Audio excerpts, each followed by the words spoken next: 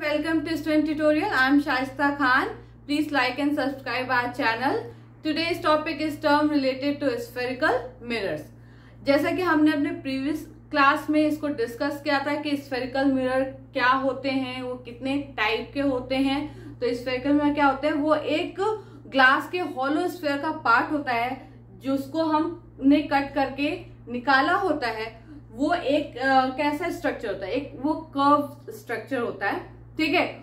जब उस curve structure का इनर पार्ट जो है, वो रिफ्लेक्टिंग होता है रिफ्लेक्टिंग सरफेस होता है और जो आउटर पार्ट होता है, उसको हम पॉलिश कर देते हैं, वो नॉन रिफ्लेक्टिंग सरफेस हो जाता है। तो ऐसे मिरर को या ऐसे कर्व सरफेस ऐसे कर्व स्ट्रक्चर को हम क्या कहते हैं? कॉनकेव मिरर कहते हैं। ठीक है? और इस दूसरे तरफ़, जब हम इसके इनर पार्ट को क्या करते हैं? पॉलिश कर देते हैं और आउटर पार्ट क्या होता है? रिफ्लेक्टिंग सरफेस होता है। वैसे कर्व स्ट्रक्चर को हम क्या कहते हैं? कॉन्वेक्स मिरर कहते हैं। ठीक है? तो उसके कुछ टर्म्स भी हैं।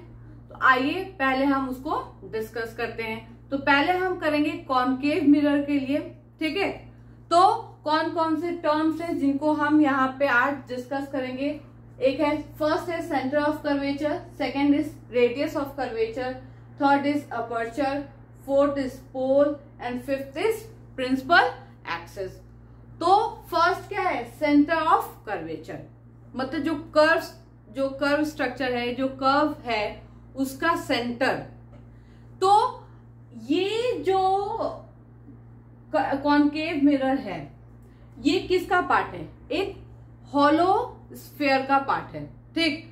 या कोई भी ऐसा स्ट्रक्चर कोई भी स्ट्रक्चर हो, वो उसका क्या होता है, या कोई भी शेप हो, उसका क्या होता है, एक सेंटर होता है।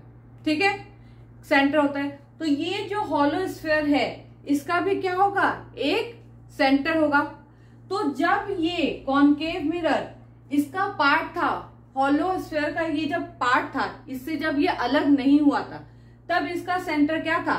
सी ठीक है? और जब इसको हमने काट के अलग कर लिया तब भी इसका सेंटर क्या होगा? सी जो हॉलो स्फेयर का सेंटर होगा, जो हॉलो स्फेयर का सेंटर होगा, वही सेंटर जो है, इस कॉन्केव मिरर का भी होगा। ठीक है? क्योंकि क्या? कि ये जो कॉन्केव मिरर है, ये इस हॉलो स्फेयर का ही तो पार्ट है। ठीक है? तो जो सेंटर होगा जो हॉलो स्फेयर का सेंटर होगा, वही सेंटर इस कॉन्केव मिरर का भी होगा। क्योंकि ये कॉन्केव मिरर उसी हॉलो स्फेयर का पार्ट था, ठीक है? अगर कोई भी स्ट्रक्चर ऐसे है तो अगर इसका सेंटर जो है वो उसके मिड में है, ठीक है? और अगर हमने इसको कट करके निकाल लिया, तब भी इसका सेंटर वही होगा जिसका वो पार्ट था, ठीक है? तो इसका इस कर्व सरफेस का ये, या ये कॉन्केव मिरर का सेंटर क्या होगा? सी जो उस हॉलो स्फेयर का सेंटर था। ठीक है? सेंटर ऑफ़ कर्वेचर क्या हुआ? ये क्लियर हुआ? सेंटर ऑफ़ कर्वेचर क्या होगा? जो सेंटर उस हॉलो स्फेयर का होगा, वही सेंटर इस कर्व सरफेस का या कॉन्केव मिरर का भी होगा, क्योंकि ये उस हॉलो स्फेयर का ही पार्ट है। ठीक है? Second is radius of curvature ये जो कर्व सरफेस है अब इसका रेडियस फिर से वही बात आ गई कि जो इस हॉलो स्फेयर का जो रेडियस होगा वही रेडियस इस कर्वेचर का भी होगा इस कर्व सरफेस का भी होगा। ठीक है? क्योंकि को, कोई भी रेडियस होता है और उसी के अलोंग क्या होता है? उसी रेडियस के अलोंग हम क्या करते हैं? एक सर्कल फॉर्म करते हैं। ठीक है? तो जो एक हॉलो स्फेयर था, उसका भी एक रेडियस होगा। ठीक? वही रेडियस अगर हम इसको कट करके अलग कर भी देते हैं, तब भी क्या होगा? वही रेडियस होगा जो उस हॉलो स्फेयर का था। मीन्स ये कि ये कर्व सरफेस का भी सेम रेडियस होगा जो उस हॉलो स्फेयर का रेडियस था। समझ में आया? ये जो कर्व सरफेस है, उसका भी सेम रेडियस होगा जो उस हॉलो स्फेयर का रेडियस था। It means radius of curvature ठीक? और रेडियस ऑफ़ कर्वेचर क्या होता है? सेंटर से। सेंटर से और उस कर्व तक की क्या? डिस्टेंस क्या होता है? सेंटर जो उस कर्व सरफेस का या कॉन्केव मिरर का जो सेंटर है, उस सेंटर से लेकर उस कर्व सरफेस तक की डिस्टेंस को हम क्या बोलेंगे? रेडियस ऑफ़ कर्वेचर ठीक है? सी से लेकर यहाँ तक की डिस्टेंस को हम क्या बोलेंगे? रेडियस ऑफ़ कर्वेचर ठीक है? समझ में आया? सेंटर क्या है? कर्व सरफेस का जो हॉलोस्फेयर था, उसका जो सेंटर था, वही सेंटर क्या होगा? इस कर्व सरफेस का भी सेंटर होगा इट मीन सेंटर सी ठीक है? उसके बाद radius of curvature radius of curvature क्या होगा? जो उस हॉलोस्फेयर का रेडियस होगा, वही रेडियस क्या है? इस कर्व सरफेस का भी सेम रेडियस होगा। और रेडियस क्या होता है? सेंटर से वो कर्व सरफेस तक की जो डिस्टेंस होगी, वो क्या होगी? रेडियस ठीक है? उसके बाद आता है अपर्चर अपर्चर क्या है? ये जो ये जो एरिया है, या ये जो जो रिफ्लेक्टिंग सरफेस है, ये एम एम डैश वही क्या होगा? अपर्चर वही क्या होगा? अपर्चर जो लेंथ होगी रिफ्लेक्टिंग सरफेस की, जितनी, वही क्या होगा? उसका अपर्चर हो जाएगा। मेनली क्या हो जाएगा? साइज़ जो कॉन्वेक्स मिरर का जो साइज़ होगा रिफ्लेक्टिंग सरफेस का, वही क्या हो जाएगा? अपर्चर मतलब एम एम डैश क्या हो जाएगा? एम एम डैश वो हो जाएगा उसका अपर्चर ये इतना डिस्टेंस जो है, इतना डिस्टेंस वो हो जाएगा उस जो कॉन्वेक्स कॉन्केव मिरर है, उसका ये हो जाएगा अपर्चर मतलब जितना भी उसका, अगर ये है कॉन्केव मिरर ठीक है? तो ये जो रिफ्लेक्टिंग सरफेस है, इसका जो डिस्टेंस या इसकी जो लेंथ होगी जितनी भी, वो उसका क्या हो जाएगा? अपर्चर हो जाएगा। ठीक है? ये आगे समझ में? अब है पोल पोल क्या होगा? पोल उस अपर्चर का या उस कॉन्केव मिरर का जो सेंटर पॉइंट होगा, वो क्या कहलाएगा? पोल कहलाएगा। क्या कहलाएगा? पोल कहलाएगा। जो उस कॉन्केव मिरर का या उस अपर्चर का जो सेंटर पॉइंट होगा, वो क्या कहलाएगा? पोल कहलाएगा। उस कॉन्केव मिरर का क्या कहलाएगा? पोल कहलाएगा। ठीक है? सेंटर पॉइंट ऑफ़ अपर्चर और centre point of curve surface is called pole ठीक है? ये हो गया अब आई प्रिंसिपल एक्सिस। प्रिंसिपल एक्सिस क्या है? ऐसी स्ट्रेट लाइन, क्या है? ऐसी स्ट्रेट लाइन जो सेंटर से और पोल से होकर जाती है। उसको हम क्या बोलेंगे? Principal axis. क्या बोलेंगे हम? Principal axis.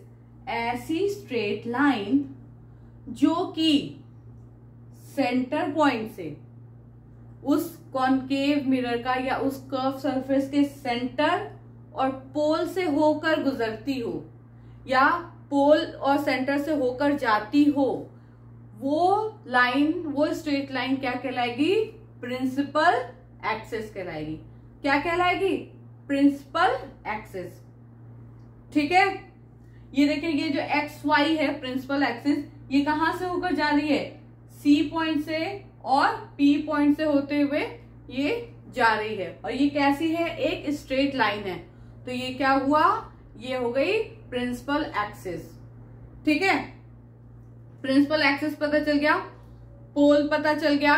The centre point of the curve surface is called pole फिर उसके बाद रेडियस ऑफ़ कर्वेचर पता चल गया। वो क्या है? जो हॉलो स्फेयर का जो रेडियस होगा, वही रेडियस जो है, उस कर्व सरफेस का भी रेडियस होगा। और क्योंकि वो कर्व सरफेस का रेडियस है इसीलिए वो क्या है? रेडियस ऑफ़ कर्वेचर उसको बोलेंगे। अपर्चर क्या होगा? जो ए, जो जो लेंथ होगी रिफ्लेक्टिंग सरफेस की वही क्या होगा? उसका अपर्चर होगा। ठीक है? उसके बाद सेंटर ऑफ़ कर्वेचर क्या होगा?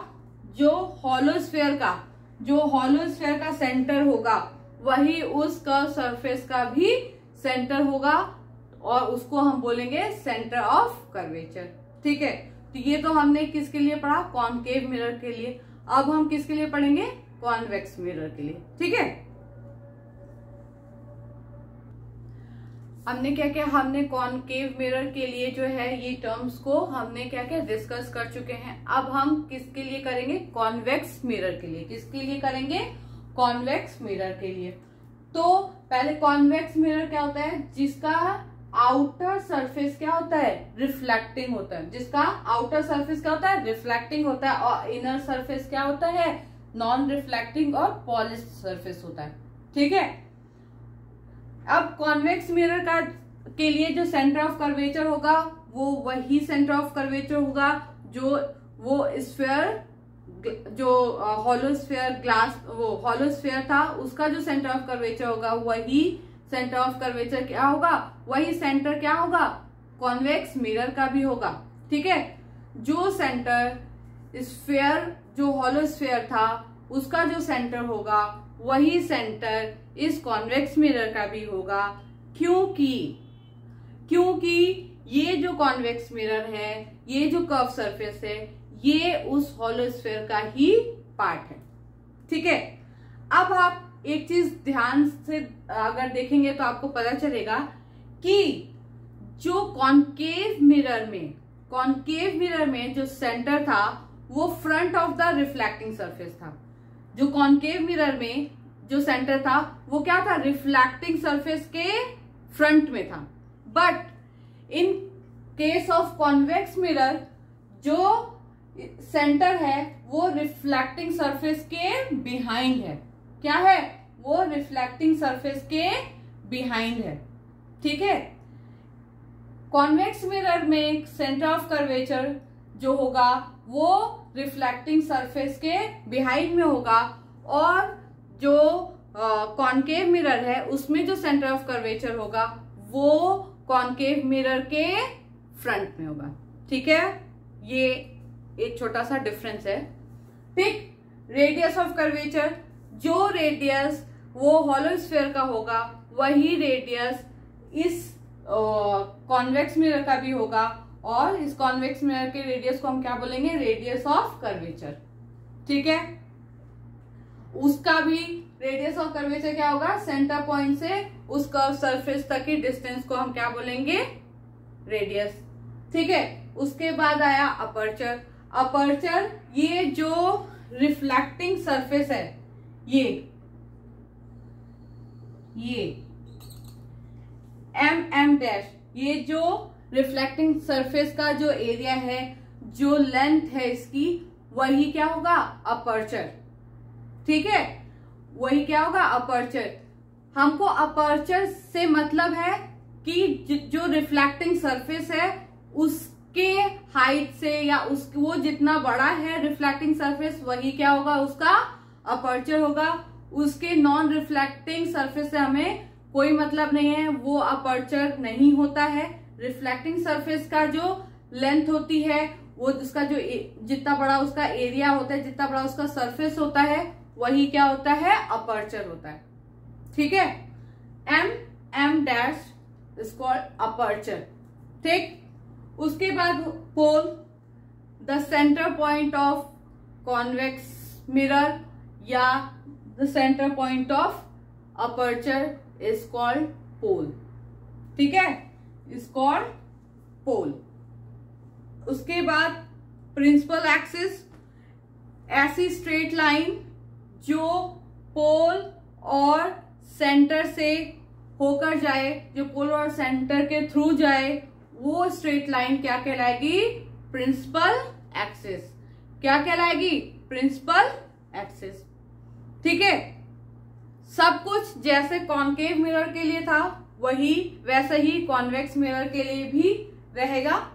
सेम चीज़, क्योंकि वो कॉन्केव मिरर जो था, वो भी उस हॉलोस्फेयर से का पार्ट था, और ये जो कॉन्वेक्स मिरर है, ये भी उस हॉलोस्फेयर का ही पार्ट है। ठीक है? यहाँ पे ये जो terms related to spherical mirror है यही यहाँ तक आपको समझ में आ गया। अगर आपको कोई भी इसमें डाउट हो तो प्लीज़ हमें कमेंट सेक्शन में नोट डाउन करिएगा। हम उसको ट्राई करेंगे कि हम उसको क्लियर कर सकें। Thank you so much